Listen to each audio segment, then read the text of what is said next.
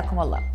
ملفنا اليوم طبعا هو ملف لطبقة عاملة للأسف تكون مهمشة وغير معترف بها بالسوق العمل. مع ذلك ما ينتج العاملون في هذا القطاع من سلع وخدمات في الاقتصاد يبقى له أثر وأهمية على الرغم من التأثيرات والانعكاسات السلبية الأخرى الناتجة عن تضخم هذه الفئة وتأثيرها على القطاعات الرسمية. لكن شبيز هاي الناس غير اللجوء هو إلى باب الرزق.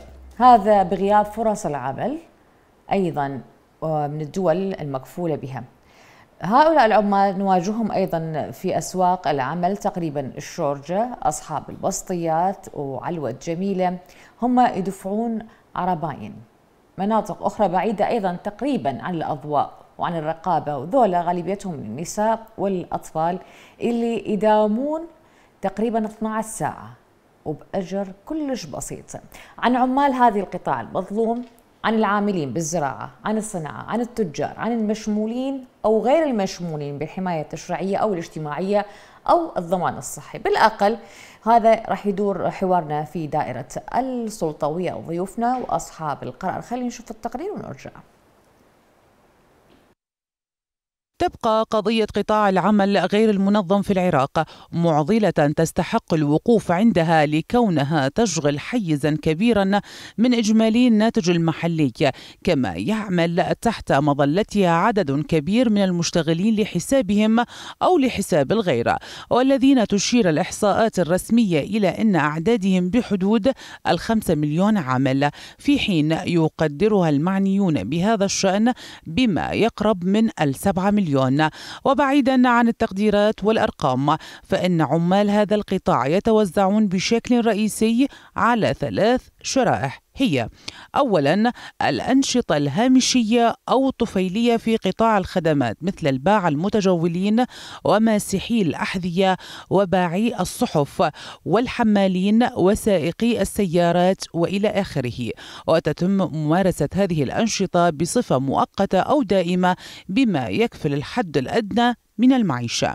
ثانيا الأنشطة الإنتاجية الصغيرة التي يمكن بتأهيلها ودعمها أن تصبح نقطة انطلاق لأعمال أكبر وأكثر إنتاجية كالمهن الحرفية مثل الميكانيك والكهربائي وأصحاب ورش النجارة والحدادة وتمثل الشريحتين الأولى والثانية جانب القطاع غير المنظم من الاقتصاد غير الرسمي.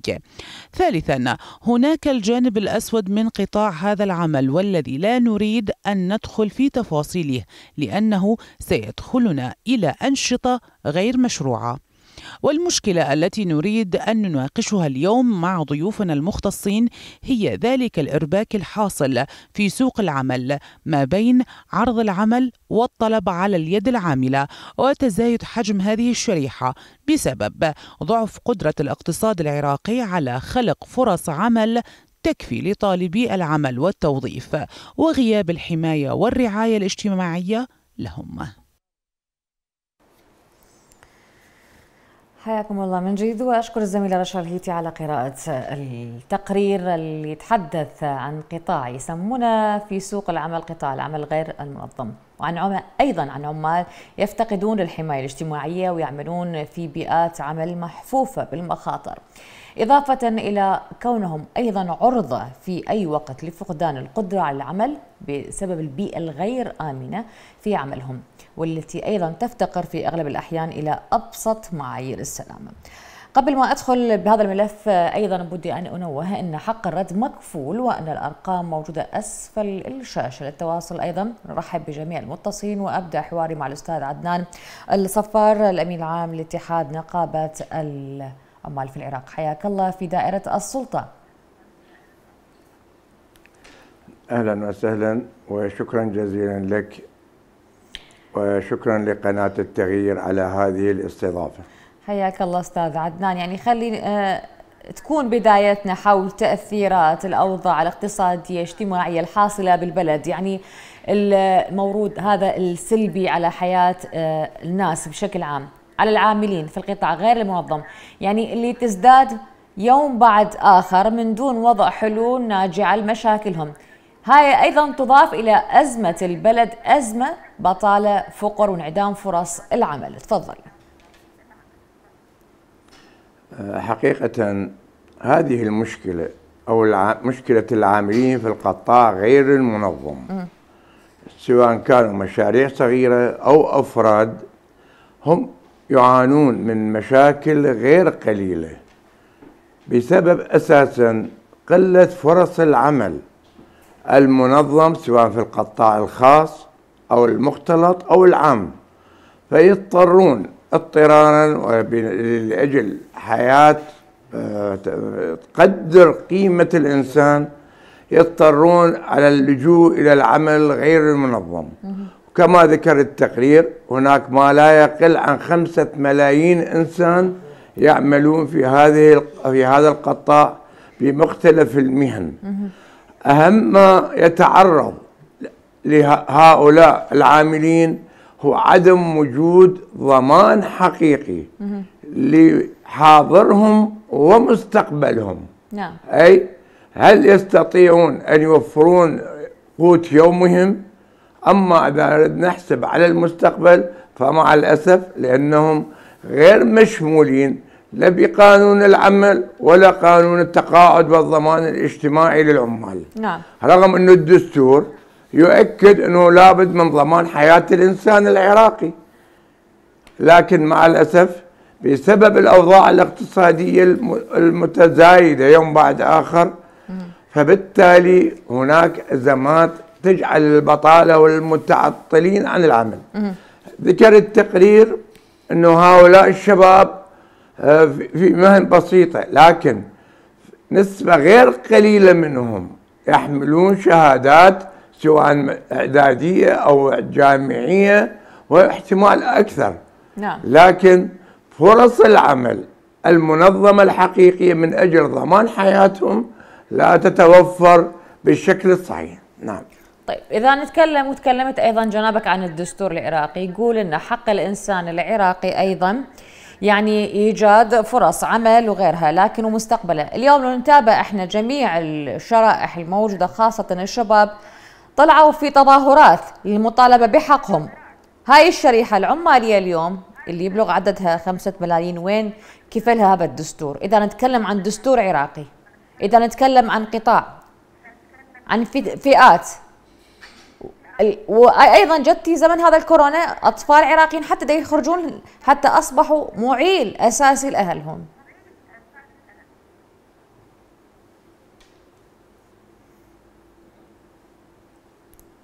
أستاذ عدنان آه نعم عفوا الصوت يتقطع يعني. سمعتني؟ على آه اللي فهمته من نعم. سؤالك آه، انه صحيح الدستور أكد كما ذكرتي وأكدنا لكن مخططي السياسة الاقتصادية والاجتماعية. الجهات المسؤولة. ما زال إحنا اقتصادنا مع الأسف اقتصاد ريعي معتمد على واردات النفط. هناك منشآت صناعية كبرى في القطاع العام. إحنا بالعكس نشوف إنه هناك تراجع كبير في هذه المنشآت. هناك 196 منشأة صناعية في مختلف الوزارات نشوف إنه قاعد تغلق عكس ما المفروض آه تعاد لها الحياة وتعمل بشكل كامل لكي تبني مستقبل اقتصادي صحيح وسليم القطاع الخاص رغم إنه الدستور أيضا يؤكد على دعم القطاع الخاص نعم. لكن هل هو فعلا مدعوم وطنيا؟ بالعكس هناك الاستيراد العشوائي والمفتوح لكل ومختلف البضائع على حساب الصناعة الوطنية. فبالتالي لا إحنا داعمين القطاع الخاص لكي ينهض ولا القطاع العام بدنا نحافظ عليه. فبالتالي هاي أعداد الشباب المتزايدة يوم بعد يوم يعني آخر إحصائية اعلنتها وزارة التخطيط إنه مستوى خط الفقر وصل إلى 30% يعني ما يقارب 10 ملايين إنسان. أما إذا نريد نتحدث ما تعرض إلى العاملين بالقطاع الخاص أو القطاع غير المنظم وبالأخص كانت تجربة جائحة كورونا وما زالت فهذه مصيبة كبرى حقيقة تحتاج إلى تفاصيل غير قليلة بسبب الإهمال وعدم التخطيط وعدم بناء اقتصاد حقيقي من أجل انتقال البلد من اقتصاد ريعي إلى اقتصاد وطني قادر على إيجاد فرص العمل لشبابه وكما ذكرتي إنه الشباب اللي طلع بالانتفاضة هو أو أساسا للبحث عن العمل نعم. من أجل أن يكون له حق المواطنة في هذا البلد. نعم. من يرفع شعار أريد وطن وأريد وطن مو بس بالاسم. وإنما يريد وطن العمل والحياة الحرة الكريمة والعمل اللائق التي تليق بالإنسان العراقي. نعم. أستاذ عدنان خليني اشكرك أيضا. الاستاذ عبد الحسن الزيادي عضو مجلس إدارة رجال الأعمال العراقيين مرحبا بك. سيد الزيادي يعني عنوان حلقتنا اليوم وبرنامجنا هو في قطاع العمل العراقي. عمال لكن مهمشون استمعنا إلى السيد الصفار القطاع اليوم غير منظم. لا حماية لا ضمان اجتماعي لا صحي. شلون ننتظر لهذا العنوان؟ وشلون أيضا كأنتم اتحاد تدافعون على هذه الشريحة المظلومة حتى تقدرون تنصفوهم. تفضل سيد زيادي. تحياتي لك ولضيفك الأخ العزيز. الحقيقة العراق كان من الدول السباقة بحلول آه، مسألة العماله في هذا البلد. حيث سنة 56 أصدر أول قانون للضمان الاجتماعي للعاملين في العراق.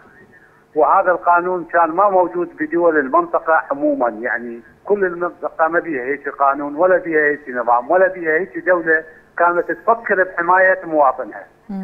وفعلا استمر هذا القانون واستمر الضمان الاجتماعي للعمال واستمر آه، حماية العامل. وبنفس الوقت في ذاك الوقت وياها كانت هناك دورات آه، لتدريب العاملين. ذاك الوقت تعرفين التعليم كان شوية مو قوي. أيضا دخل الأجهزة في الدولة وبدأت تدرب وبدأت تعد مراكز تدريب للعاملين اللي هم القطاع الغير منظم أساسا حتى يتحول إلى قطاع منظم. واستمرت العملية هذه. وسنة 61 أيضا حدد القانون برقم 39 للنافذ وحدثت عليه تعديلات وتوسعت وإلى كان هناك أيضا حتى قانون يعني حتى محاكم بالعمل حتى تحكم بين رب العمل والقطاع وقطاع العاملين وكانت الدولة العراقية من الدول اللي تهتم بالعماله وتحاول تجمعها وتجمع مواردها حتى تستفاد الدولة وبنفس الوقت يستفاد العامل العراقي، لكن إحنا فوجئنا مع مرور الزمن وبعد 2003 ساهت الأنظمة والقوانين الخاصة بالعمل والدولة اعتمدت لأنه هي الحقيقة مو بس هذه الدولة بعد ال 58 من سيطرت على النفط بدأت شوية آه، أخذت يعني حلت آه، بعض المشاريع الاقتصادية آه، جاوزت على القطاع الخاص خصوصا بعد حل مجلس الإعمار البلد أصبح في ضياع استولت عليه استولى عليه قطاع الموظفين وقطاع طيب. الدولة، لما استولى عليه قطاع الدولة ضعف هذا القطاع. زين السيد الزيادي سيد الزيادي يعني إنه نتكلم بعد نعم. 2003 مشاريع أيضا كانت استهلاكية شهدها العراق. هاي اصبح جايز جايز أصبح إقبال جايز عليهم كرؤوس أموال محدود الاستثمار إيه. هذه المشاريع يعني تقدر توظف أي ناس أيضا عندنا شرائح نتكلم عن 5 مليون أو أكثر ما عدا اللي ممسجلين أيضا بالضمان الاجتماعي أو أو التأمين الصحي الحقيقة بعد 2003 كان المفروض على الدولة وكانت توجه توجه توجه كامل وتضمها إلى قطاع العاملين اللي هم عددهم يفوق الخمسة خمسة مليون مثل ما آه، ذكر الضيف السابق نعم. أو وتوصل لهم الضمانة وتلزم أرباب العمل وتلزم الدولة بتشغيلهم بشغل شغل منظم. تعرفين كل دول العالم الآن ما تخرج موظفين أو عمال عشوائيين. إلا تدخلهم دورة لمدة ثلاث أشهر أو ست أشهر تأهله وتنزل سوق العمل. هذا اللي وتسوي له ضمانات وتحدد له راتبه حتى يكون مضمون من كل الطرق. يعني عنده تأمين صحي عنده ضمان صحي عنده ضمان. هذا عنده تقاعد مستقبلا. لكن مع الأسف اللي حصل بالعراق ال- ال- ال- بعد 2004 الدولة استولت على البترول وبدت ما تفكر بالمواطن العراقي. الحقيقة استخدمت النفط قاموا فصلوه على حسابهم سووا آه، رواتب خاصة للمسؤولين بالدولة العراقية وللبرلمان وللمؤسسات اللي تهمهم وتركوا المؤسسات الاقتصادية وتركوا الطابقة الشغيلة العاملة اللي ممكن أن هي اللي اللي يشتغل بها البلد وهي اللي توفر الحصانة والثروة نعم. للبلد، الان البلد اصبح بهالحاليه اللي إحنا بها اليوم. يعني نعم. ما عنده يسدد رواتب طيب. وأصبح كل اموره تعبانة نعم. حيل يعني. نعم. سيد الزيادي أرجو أن تبقى وياي. أرجع للسيد الصفار. استمعنا أيضا إلى السيد الزيادي. باعتقادك أيضا الأسباب اللي أدت إلى تنامي الاقتصاد غير الرسمي بالعراق. اليوم ضعف رواتب تأخر موازنات تضخم ارتفاع مستويات الفقر يقابلها أيضا ارتفاع بالأسعار. هاي التكاليف كلها أستاذ الزيادي يعني عنوان مبرمج لعراق. يعني إذا تكلمنا عن خمسة مليون بعد هذه الأزمات تعتقد أيضا إذا ماكو حلول؟ نعم. سيد الصفار تس- تسمعني؟ نعم نعم. نعم عفوا للسيد الصفار سيد آه، زيادي. سيد طيب. نعم. آه، سيدتي العزيزة نعم. العاملين العاملين بالقطاع الخاص. ترى حالهم حال العاملين بالقطاع غير المنظم. موضوع الضمان الاجتماعي مع الأسف أغلبية الشري... مع الشركات والورش ال- والمعامل بالقطاع الخاص لا تعمل على ضمان حقوق العاملين. هل يعقل أنه العاملين بالقطاع الخاص ما يقارب ستة ملايين الآن فقط 250 ألف عامل عراقي مسجل في دائرة التقاعد والضمان الاجتماعي للعمال؟ ما معناه أنه هناك أيضا حتى بالقطاع الخاص قصور في شمول العمال بال- بالضمان الاجتماعي. ولذلك العمالة العراقية من تضطر تلتجئ إلى القطاع العام لأنه أكثر ضمانة وأكثر شمولية بالحقوق.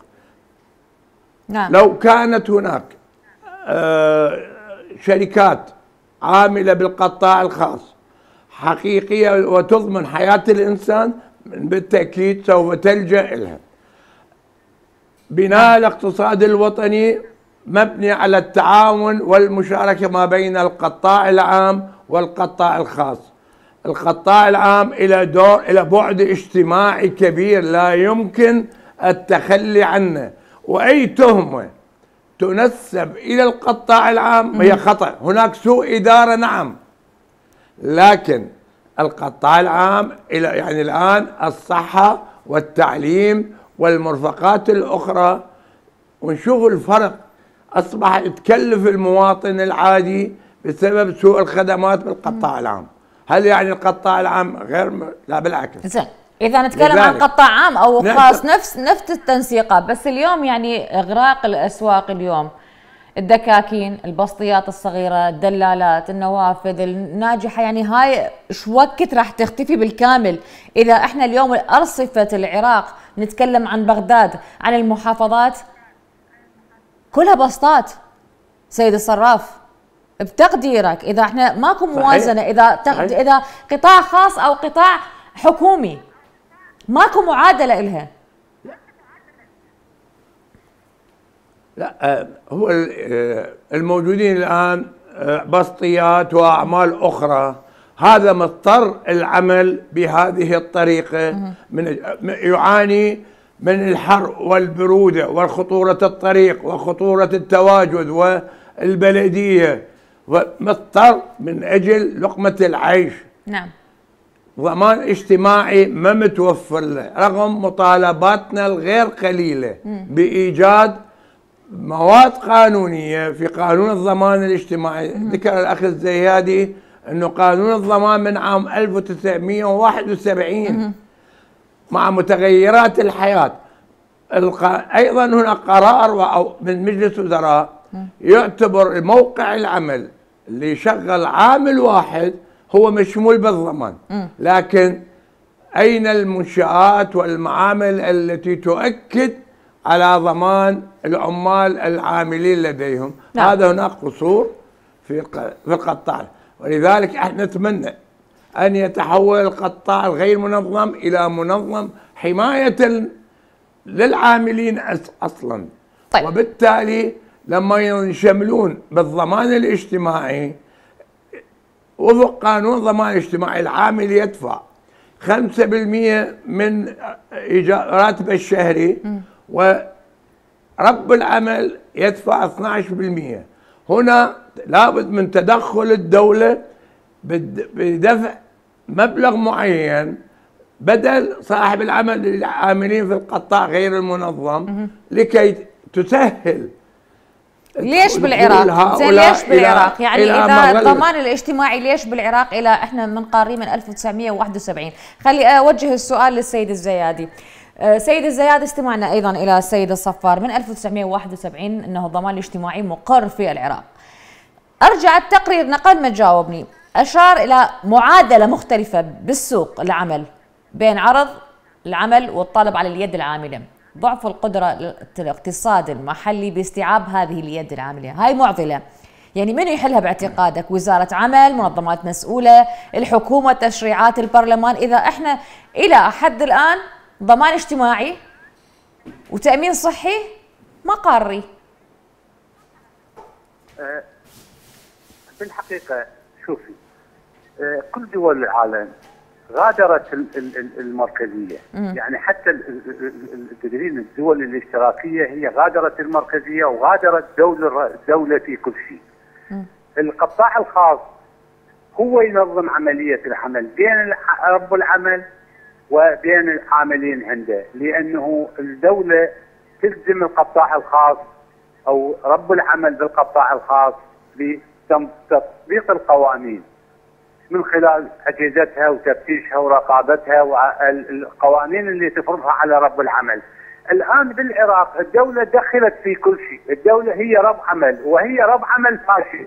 وبعدين هذه مسألة إذا ما يكون القطاع الخاص هو إلى الدور الرئيسي بالعمل والدولة تقعد كمنظم ما راح تنجح الحياة بالعراق، هذا سبب فشلها. نعم. يعني الآن سبب فشل الحياة بالعراق هو تدخل الدولة في كل المشاريع وفي كل الفرص.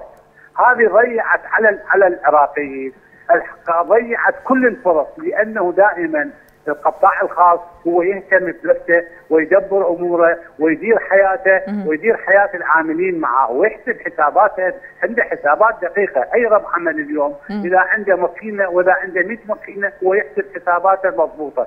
إذا عنده مزرعة إذا عنده آه، حقل دواجن إذا عنده محطة أبقار إذا عنده بقرتين هم يحسب الشراجلين. لكن الحكومة ما تحسب هذا ما عندها هيك حسابات.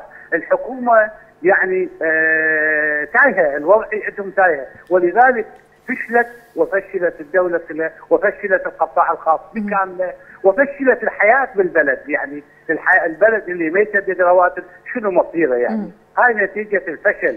يعني الدولة لازم تعيد وجهة نظرها وتبدي بالجديد. اولا تبدي بدعم القطاع الخاص حتى القطاع الخاص يقدر يستوعب هذول الناس ليش هاي الظاهرة؟ ليش دائما إحنا كقطاع خاص أو حتى حكومي في بعض الأحيان آه يعني نعم.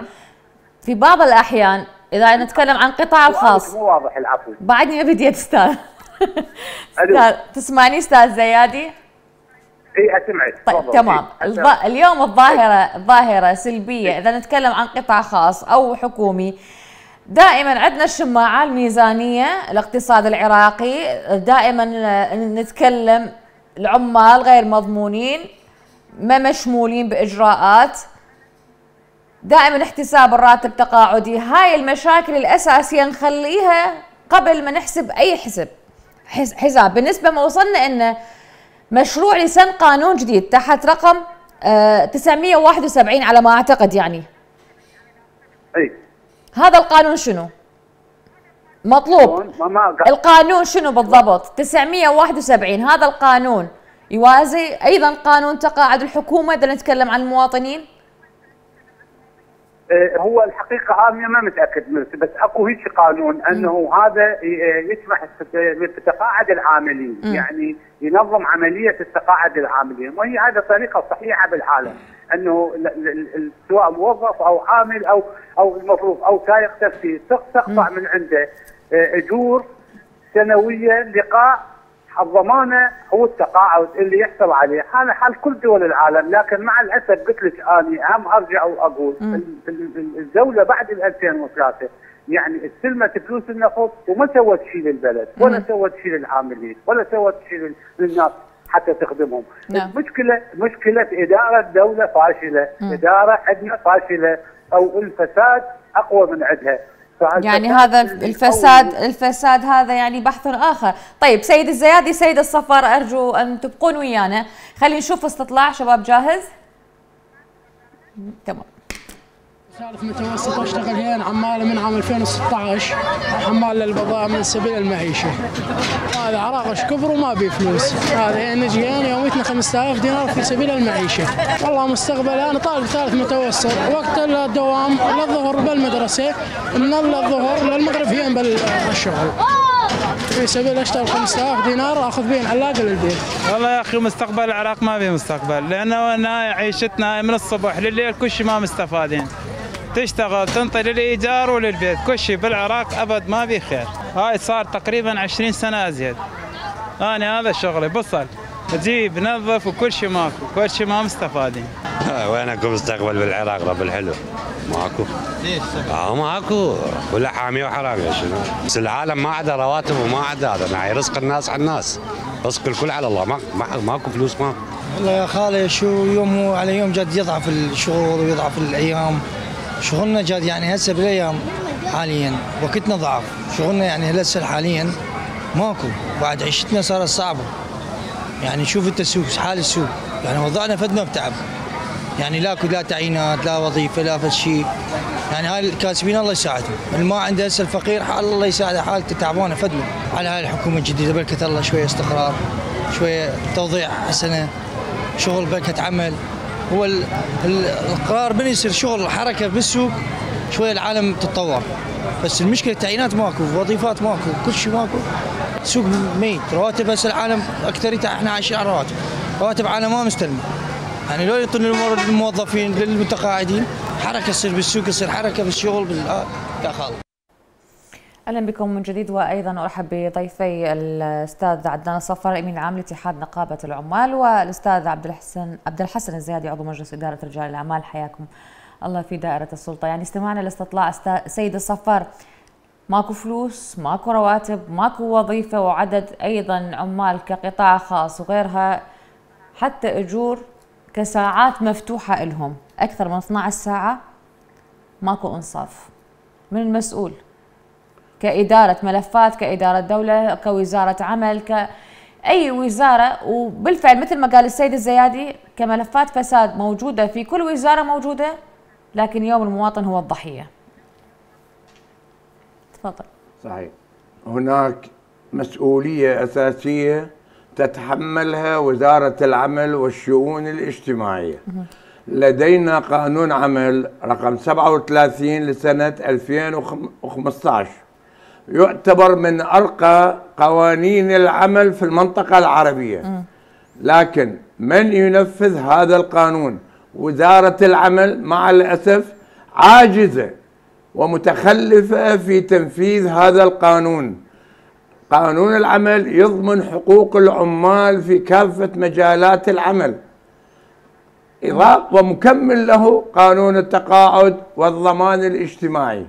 وهذا يتطلب تعاون وزارة العمل مع النقابات والاتحادات العمالية من أجل تطبيق قانون العمل.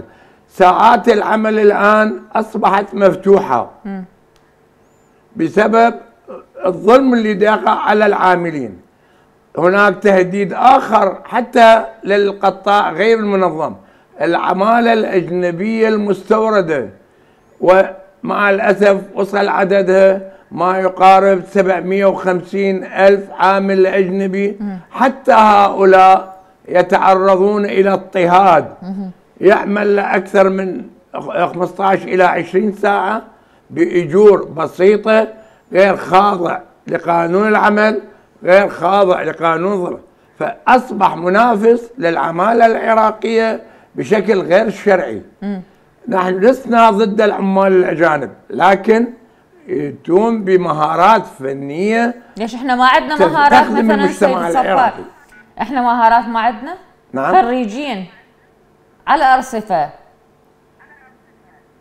عندنا أيوة. مهارات وعندنا شباب أيضا. ليش ما عندنا مهارات؟ إذا نجيب بالآلاف بشركات نعم. نشغلهم. المهارة الم... المهارة العراقية العامل العراقي في كل المجالات بما في التكنولوجيا الحديثة. هناك إمكانيات غير قليلة للعامل العراقي. لكن لأنه أيدي عاملة رخيصة على حساب العمالة العراقية. ولعدم وجود ضوابط والتزامات حقيقية ليصير تسريب هؤلاء العمالة الأجنبية.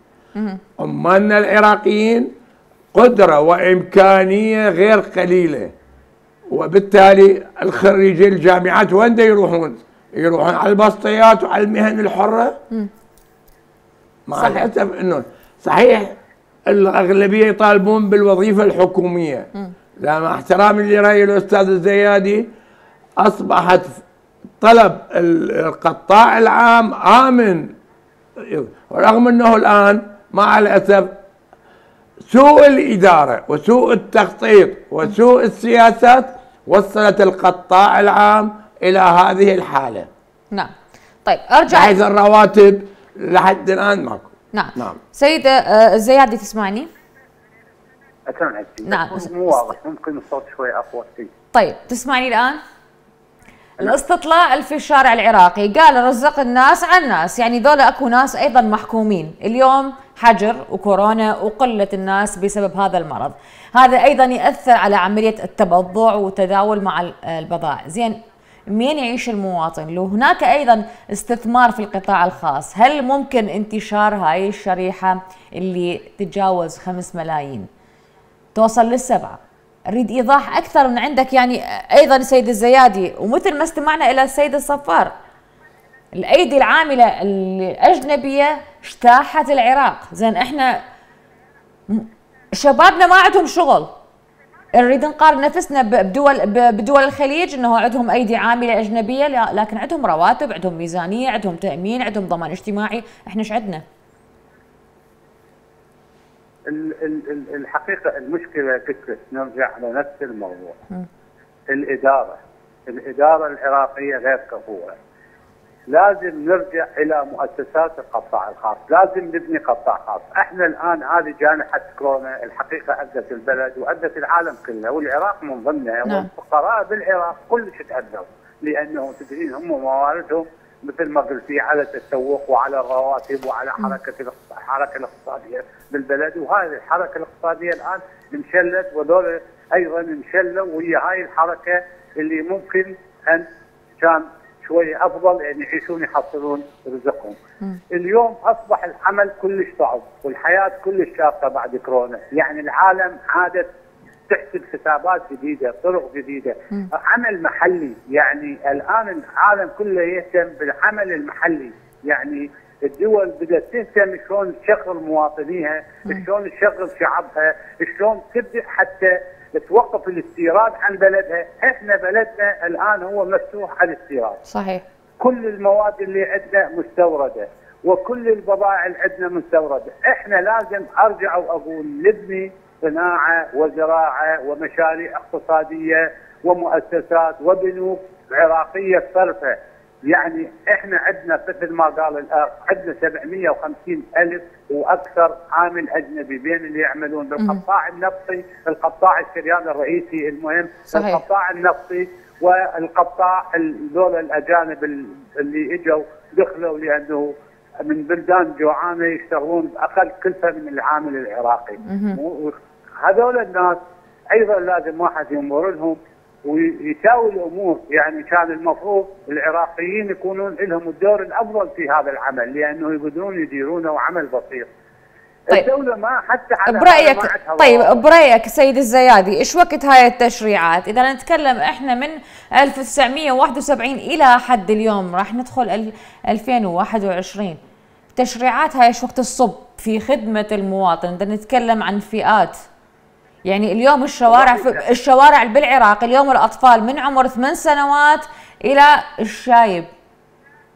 النساء على الارصفه إحنا عاجزين. إحنا الآن بدنا نتكلم ونحكي بالإعلام وبكل الطرق ليل نهار لكن الدولة ما تسمع حكومة ما تسمع. حكومة اكتفت عينة وقرايبهم ومصالحهم والناس اللي ينتخبوهم والناس اللي يمدوهم عينوهم موظفين في هاي الدولة وبدأوا ياخذون هم وياهم. فصلوها الدولة على مود رواتب وعمل. حتى المشاريع العمل هم كانوا ياخذوها. ياخذوها القيادات والسياسيين والأحزاب والمؤسسات اللي اللي تخص المجاميع اللي إجوا من خارج البلد واستولوا على البلد بطريقة غير غير تعتبرها شرعيه وبقوا الناس الآخرين قاتلهم الجوع، لازم تعاد وجهة النظر هاي الجديدة. لا لازم يصير بالبلد يرجع إلى اهله الحقيقيين اللي هم أصحاب المصلحة الحقيقية في هذا البلد، الآن رقاد البلد بالناس ما عندهم إدارة دولة حتى يخدمون أهل البلد، يعني مع الأسف يعني بعض الأوقات واحد يعني تطلع الأمور من عنده، صحيح. لكن المشكلة يعني مشكلة عصيبة إحنا نلاحظها. المشكلة الآن بالبلد يعني مشكلة صعبة مشكلة حيل صعبة خصوصا بعد ايقاف الرواتب. يعني الناس بدأت تشعر بالجوع الحقيقي والجوع الحقيقي بدأ. علما إن إحنا عندنا موارد هائلة موارد طائله لو شغلنا القطاع الخاص واستخدمنا الطرق الإقتصادية. زين، أكو نقطة سيد الزيادي. العلمي. طيب أكو نقطة خليني أتكلم عليها بس اتجه إلى السيد الصفار وأرجع لك، يعني سيد الصفار اليوم هاي آه، آه، عندنا شغلات مضحكة مبكية في العراق. بالنسبة إلى احتساب الأجور بالنسبة للموظفين وأنت كاتحاد نقابة العمال العراق برأيك يعني الأجور راح تكون منصفة إذا سوينا ضمان اجتماعي تأمين صحي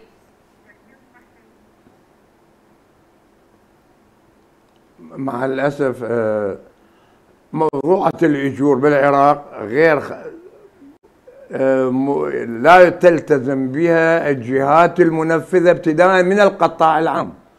هناك قرار لمجلس الوزراء يؤكد أنه الحد الأدنى للإجور 350 ألف دينار شهريا. لا القطاع العام يلتزم ولا القطاع الخاص يلتزم. طيب هل هو فعلا تكفي هذا المبلغ؟ لا بالتأكيد ما يكفي هذا المبلغ وبالتالي لابد من وضع إجراءات إلزام من أجل أن يكون للجهد العراقي لقوة عمل العامل العراقي حق حق. فبالتالي موضوعة الأجور هو جزء من قانون العمل والضمان الاجتماعي ومكملة مع بعضها. من عام 2016 تم مناقشة قانون ضمان اجتماعي جديد؟ إلى حد الآن لم يرى النور. هناك مثل ما قال الأستاذ عبد الحسن فعلا هناك جهات في مؤسسات الدولة لا تريد أن يستقر هذا البلد وأن يأخذ مواطنيه حقوقهم الاقتصادية والاجتماعية والصحية. في ظل جائحة كورونا اللجنة الوطنية للسلامة الوطنية خصصت لعشرة ملايين إنسان يوميا ألف دينار. من منهم من هذه اللجنة أو غيرها؟ يعيش بألف دينار يوميا. ومع ذلك حتى هؤلاء لم يستلموا هذه المبالغ. لأنه توزعت بطرق الفساد والمحسوبية نعم والعلاقات. بالضبط مثل ما ذكرها السيد الزيادي. اليوم كل واحد أخذ مجموعته وفتح لهم مشاريع وها طيب اسمحوا لي عندي آه إيضاح. آه أرسل لنا السيد آه وليد السهلاني رئيس الخدمات والأعمار. إيضاح يقول فيه بأن لجنة الخدمات والأعمار البرلمانية تراقب عملية التغيير الحاصلة لمنصب أمين بغداد بعد استقالة الأمين السابق وفي الوقت الذي نسجل فيه تحفظا ورفضنا للآلية اللي تم فيها اختيار الأمين الجديد إذ كان رئيس الحكومة وعلى الرئيس اللجوء إلى الطرق الدستورية والقانونية في تعيين الأمين الجديد حيث هناك نصوص دستورية حاكمة تلزم رئيس الوزراء بالرجوع إلى مجلس النواب بعد الترشيح لأجل التصويت من عدمه.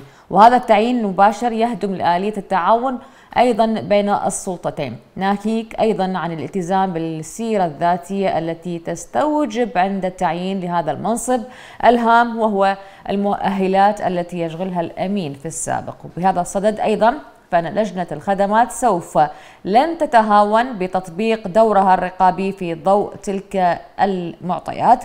طبعا نشكر السيد السهلاني على هذا الإيضاح لبرنامج دائرة السلطة. آملين أن يكون أيضا مفتاح جديد للبرنامج ولجنة الخدمات والعمار لأن بالضبط لأن عملها يصب بخدمة المواطن.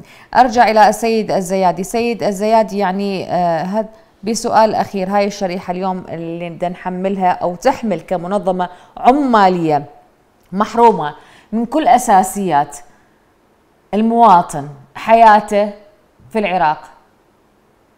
برأيك إلى متى سوف تتم هذه التشريعات؟ برأيك متى سوف يكون العراقي قادر على الوقوف على قدميه؟ بتأثيرات هذه المجموعة. إذا نتكلم عن بطالة عن فقر عن عدم تشريعات للقانون. تفضل سيد الزيادي. طبعا آه، قبل ما أجاوبك على هذا السؤال الحقيقة الأخ آه، مشكور عضو مجلس النواب اللي آه، غرد هالتغريدة. نعم. لكن إحنا أنا اسال أسأل واسالك وأسأل المواطن العراقي والحكومة العراقية والدولة العراقية منذ 2003 إلى الآن. يا شخص تعين بموجب روابط ووثائق يا مدير عام يا وكيل وزير يا وزير يا موظف يتعين وفق روابط واختصاص ومهنية. كل من يجيبونه حسب المحافظه وحسب الاتفاق وهدمت الدولة بهاي الآلية وهاي الطريقة اللي الآن هم يحسون بها، ماكو هيك شيء، كل الموظفين الآن وكل المدراء العامين بالدولة بالدولة العراقية سواء وزاره المالية ووزارة التخطيط والوزارات الأخرى وكلهم هم ناس ما ما مو موقعهم هذا. ما اجوا على حسب سلسلة المواقع. ومكانته كلهم إجوا وكلاء وغيرهم إجوا إجوا بالواسطات المفاوضات والأساليب الغير الغير الغير من عندهم الغير نظيفة. ولذلك وصلوا لهاي المناصب وفلشوا الدولة فلشوا انهوا الدولة عبادوها للدولة نعم. لأنه الرجل المناسب في المكان المناسب أما أنت تقولين لي أنه إيش وقت راح يعيشون الفقراء ويحصلون على مكاسبهم وحقوقهم ويحصلون على تأمين صحي ويحصلون على ضمان صحي، الحقيقة هذه تبتدي على جهودهم هم. ينشطون في كل المجالات ينتخبون الناس اللي هم أهل يعني أهل المصلحة الحقيقيين، أنا ليس من ليس من المرشحين ولا أريد أرشح ولا أني أقدر أرشح. عمري ما يناسبني ارشح، نعم. لكن لمجلس النواب، المفروض المواطن هذا الفقير واللي هو الآن يصبح يعاني المفروض يعرف علما ينتخب. هو ما مجال ما امامه غير الانتخاب. ينتخب لأنه دول الحكومة حاليا موجودة واللي قبلهم وأنا ما أحمل دول الجدد هسه الموجودين، لا المسؤولية اللي قبلهم اللي مردوا البلد ومردوا اقتصاد البلد وسياسة البلد تاركه تاركة قوية كانت. العام والخاص بس اسمحي لي أنه يعتمدون على بصمة وطبعهم ينطوها للمواطنين الكفؤين لاصحاب الحق الحقيقي في إدارة الدولة. نعم. هذا الصحيح. مو ينطوها لفلان وفلان نعم سيد. فلان يأثر وفلان ما يأثر بهم. هذا نعم. هذا اللي الغلط اللي يعني أنا سيد زياد يعني, يعني أعتذر من عندك لضيق الوقت أيضا وأشكرك على المعلومات القيمة أيضا سيد الاستاذ ممنونه الأستاذ عبد الحسن الزيادي عضو مجلس إدارة رجال الأعمال في العراق وعدنان الصفار الأمين العام لاتحاد نقابة عمال العراق. شكرا جزيلا لكم. خلينا نتجه إلى الهدف.